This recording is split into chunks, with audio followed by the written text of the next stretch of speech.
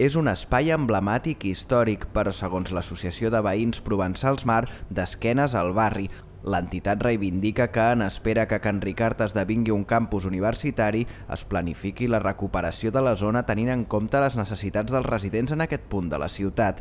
Per això volen que a l'entorn s'hi facin equipaments com una biblioteca, un centre cívic o un casal d'entitats. Si volem consultar algun llibre o alguna cosa, ens hem de desplaçar. I tampoc tenim un casal, un centre cívic, que aglutini tot el barri.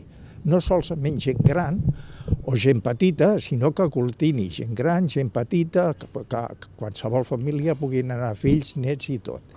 Asseguren que aquests equipaments podrien establir sinergies amb la universitat, però també amb les moltes escoles que expliquen ja al voltant de Can Ricard.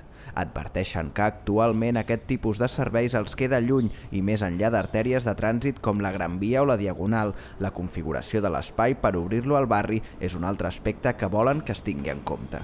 Que això esdevingui un, un, un vial cívic i verd, amb la qual ja tindríem accés pel carrer Perú, pel carrer Marroc i pel carrer, sobretot, per aquí el carrer a Bolívia, que és on realment tenim concentrat a la gent han presentat propostes al procés participatiu Repensem el 22 arroba i al·legacions per la modificació del Pla General Metropolità d'aquest pla urbanístic perquè el planejament reculli les seves aportacions.